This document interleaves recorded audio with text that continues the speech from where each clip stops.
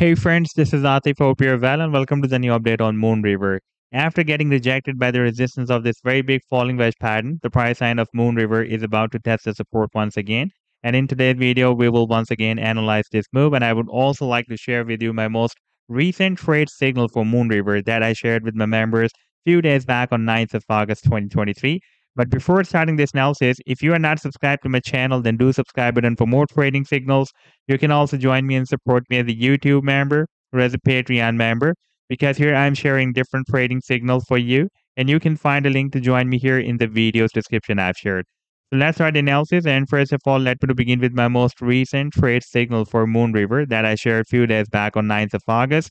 And that was a harmonic bullish reversal Gartley pattern that Moonriver formed with Bitcoin pair on a two hour time frame chart.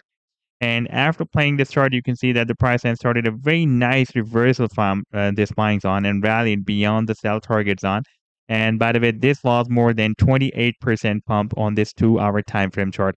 And if you would like to catch such other pumps before they happen, then you can also join me and support me as a YouTube member or as a Patreon member because here I'm sharing such trading signals for you on the daily basis. And I've already shared the links to join me there in the video's description you can find.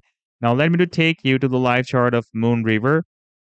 And here on the weekly time frame chart, you can see that the price line is moving inside this very big falling wedge pattern. We entered the wedge here in the month of June 2022, and we found a resistance in the month of August 2022.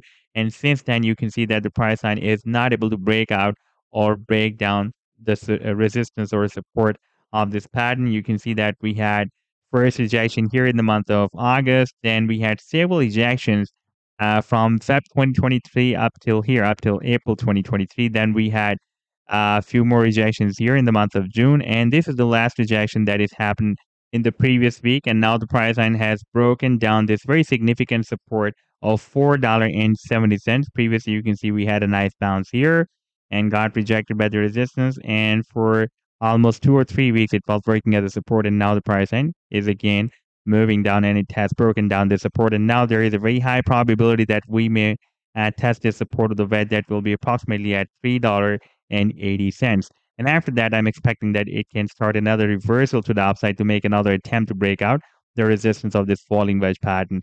And by the way, in order to read the resistance this time, the price line will also need to break out this horizontal or price level resistance of $4 and 70 cents as well. And once the price line will be able to break out this big falling wedge pattern, you can see that the movement is quite squeezed. Therefore, uh, soon it can break this pattern out. And the target for the breakout will be here at the top of the wedge. That will be between $23 to $25.